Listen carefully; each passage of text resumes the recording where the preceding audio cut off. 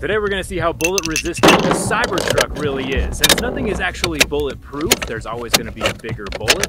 But today we're going to see scientifically where that line gets drawn. We have tiny Okay, 22 bullets all the way up to a 50 cal, which should So do we the know job. the thing I'm worried about though is that this is probably going to shatter the glass even though we're hitting the door just because of how brutal and large this bullet is. So fingers crossed we don't break the glass because as we know glass is glass.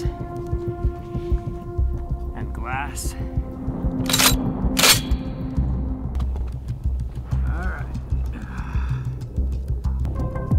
Three two one.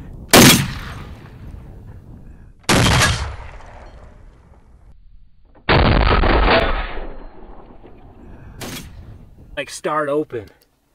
Oh that's crazy